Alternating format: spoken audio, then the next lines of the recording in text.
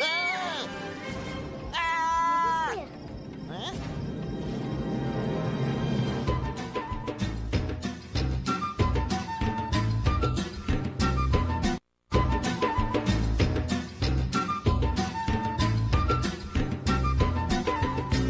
Quem é você? O que estão fazendo aqui? Calma, Emília, eu falo, eu falo. Você me conhece? Como sabe meu nome? O meu irmão, ele é seu fã. E eu também, é claro. Quem é seu irmão?